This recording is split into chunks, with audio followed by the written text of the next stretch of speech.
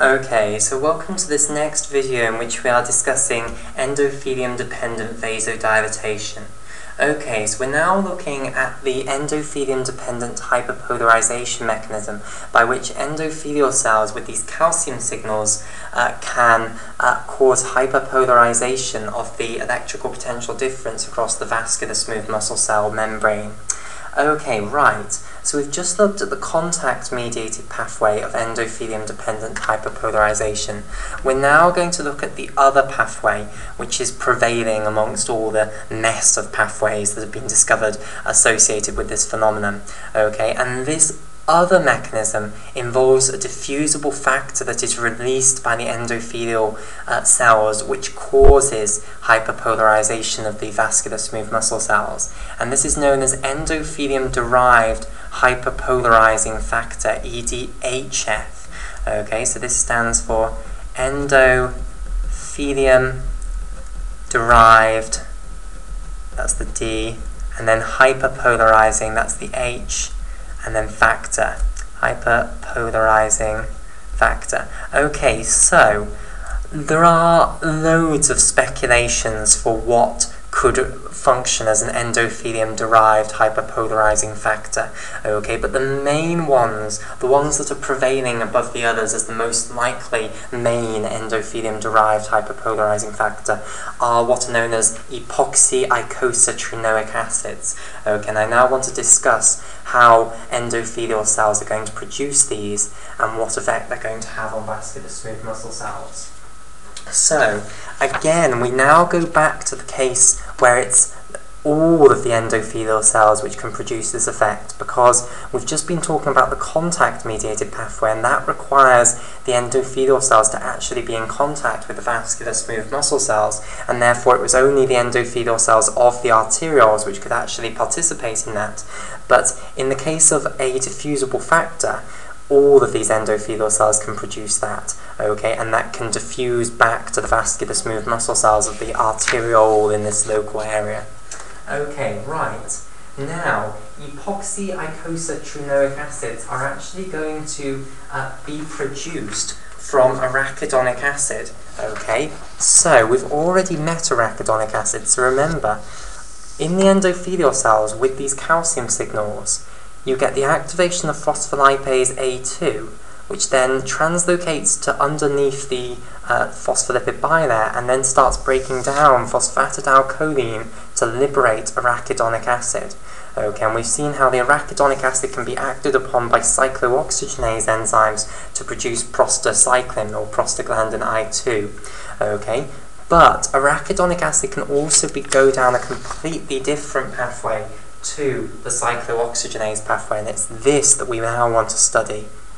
Okay, so um, arachidonic acid, which I'll abbreviate down to AA, can also be called by a different name. Okay, and this different name is icosa tetraenoic acid. Okay, icosa tetraenoic acid. Now, what does this mean? Icosa means that it is a 20 carbon carboxylic acid. Okay, so icosanoic acid is a 20 carbon uh, carboxylic acid. Okay, the tetraene means that it's got four double bonds, so it's not a fully saturated carboxylic acid. Okay, and I'll show you the structure of this in just a moment. Okay, now, basically, we've seen how it can be converted into prostaglandin G2 and then into prostaglandin H2 and then on to prostaglandin I2, but it can also be converted to what's known as a icos, oh whoops, missed off a bit, epoxy icosapentaenoic acid. So epoxy icosapentaenoic acid. Okay, is it going to fit in? Nope. Trienoic acid. Okay, so what does this mean? It means that it's going to still be a 20 carbon carboxylic acid, so there's the icosanoic acid there, but now we've only got trienoic acid, and that means that we've gone from having four double bonds to having three double bonds. And we've now got this new structure, which is an epoxy group, and I'll show you what that is in just a moment. Okay, right. So basically there are enzymes within the endothelial cells which can also catalyze this conversion of arachidonic acid. Okay, and they are members of the cytochrome P450 family of enzymes, often abbreviated to CYP. Okay, so this is short for cytochrome, that's the CY, and then the P is for P450. Okay, and this reaction is specifically catalyzed by cytochrome P450 enzymes, which are called cytochrome P450 epoxygenases. Okay, now which families of cytochrome P450s are epoxygenases, which means that they create these epoxy groups. Okay, well, the specific families of cytochrome P450s which can catalyze this reaction are the cytochrome P450-2C family, and also the cytochrome P450 2J family. Okay, so those are the enzymes which can catalyze this conversion of arachidonic acid into uh, epoxy eicosapentaenoic acids. Okay, so let me now show you then what an epoxy eicosapentaenoic acid is. But before we just go any further, let me tell you that uh, epoxy eicosapentaenoic acids are usually abbreviated down to EETs. E for epoxy, E for icosa, and then trienoic acids is T. Okay, so let me show you this reaction. So we'll start by drawing the skeletal structure of uh, icosa tetraenoic acid, okay, arachidonic acid. So it's this 20 carbon carboxylic acid. So we'll start with the carboxylic acid group here. Okay, so that's carbon number one there, carbon number two is here, carbon number three is here, carbon number four, carbon number five, and then you've got your first double bond between carbon number five and carbon number six. Okay, now, I should just say something here to be correct chemistry-wise. Okay, I have just told you that arachidonic acid can also be called icosa tetraenoic acid. Now, this is true, however, it's not quite rigorous, okay, because tetraenoic acid does not tell you where those four double bonds are, okay, and in the case of arachidonic acid, those double bonds are in a very specific position, okay, so let me show you now where the double bonds are, and then I'll uh, say that that's the real structure of arachidonic acid, although you can refer to it as icosa tetraenoic acid. Strictly speaking, what you should have in some at some point in this name is the numbers of the double bonds. Okay, right. So you have one double bond coming off the fifth carbon here, between the fifth and the sixth carbon. Okay, so this is the sixth, this is the seventh. Then you've got another double bond between the eighth and the ninth carbons here. So this is carbon number eight here. Then we've got carbon number 10, carbon number 11 and 12. Again, you've got a double bond there between 11 and 12. 13's up here, 14's here, and then you've got another double bond between 14 and 15. So you can see how it's beautifully symmetric in this way. Okay, then we've got carbon 16 here, and I'll just label that up as 14. 17, 18, 19, and then 20. Okay, so that is the structure of arachidonic acid.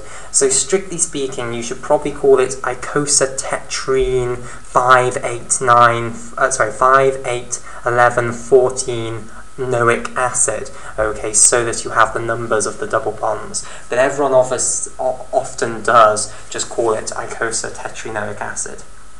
Okay, right. So, how do you convert this molecule, and this is arachidonic acid, this is what arachidonic acid looks like. How do you convert this into an epoxy icosatrienoic acid? Okay, well, let me just write out the name again and then I'll show you what you can do. Well, basically, there are four different epoxy icosatrienoic acids that you can produce from arachidonic acid. And these you can produce by choosing different double bonds to break. Okay, so remember, we're going down to just having three double bonds rather than four. Okay, and one of the double bonds is going to be replaced by an epoxy group. But which one do you choose? Well, you can choose whichever one you like, basically, which means that there are four different EETs that you can form. So let's say that we're going to choose this double bond between 5 and 6 to be broken, and let's show the EET that we can produce by breaking that double bond. Okay, so this double bond has now been broken, so I'll just draw the structure out first, and then I'll put the epoxy group there. Okay, so here is the structure once again. Okay, 15, 16, 17, 18, 19, 20. Here's the carboxylic acid group still, and now we've broken the second of the two bonds in that double bonds, and we're now turning it into an epoxy group, which is a group where you have a triangle like this involving two carbons and an oxygen like that. Okay, so this is what would be called a 5-6 EET molecule, epoxy icosa tetri sorry, epoxy icosa trienoic acid. Okay, so this is the 5-6 EET. Of course, you could also produce the 8,9 EET, okay, which would be 8,9 epoxy icosatrienoic acid, which instead of picking the double bond between 5 and 6 to break and replace by a epoxy group, you pick the double bond between 8 and 9 to break. Okay, you could also have an 11,12 uh, epoxy icosatrienoic acid. Okay, so there's 11,12 EET, and finally there is also 1415 EET. And these enzymes, these cytochrome P450 epoxygenases, which remember were in cytochrome P450 2C and 2J families, they are capable of catalyzing the conversion of arachidonic acid into any one of these four EET molecules. Okay? So the endothelial cells can produce these EET molecules in response to calcium, which causes the liberation of the arachidonic acid that uh, you need to make these. Okay, the idea then is that these EET molecules go to the vascular smooth muscle cells and then cause potassium channels to open. And the identity of these potassium channels is still uh, controversial, okay? But the EETs seem to be able to cause potassium channels in the vascular smooth muscle cells here to open allowing potassium to leave the vascular smooth muscle cell cytoplasm and thereby hyperpolarizing the electrical potential difference across the vascular smooth muscle cell membrane and therefore stopping the activation of voltage gated calcium channels in the vascular smooth muscle cell membrane and therefore stopping the generation of calcium signals which lead to contraction. Okay? Right, so that now finishes our discussion of the mechanisms by which the endothelium can cause relaxation of the vascular smooth muscle cells surrounding the arterioles. As I say, this is something that is happening all the time, all over the place. Okay, the endothelium is continually sending these signals to oppose the continuous contraction signals that the vascular smooth muscle cells are receiving. And if you block the endothelium dependent relaxation mechanisms, you get massive contraction of arterioles all over the body and it causes a humongous great rise in arterial blood pressure. Okay, so it is important mechanisms that are occurring all the time to keep your blood vessels uh, open, basically. Okay, in addition, we've seen that you can upregulate the endothelium-dependent relaxation mechanisms in response to inflammatory mediators, which is what occurs in the process of inflammation, and that's how you can increase the perfusion to areas which are undergoing the inflammatory response.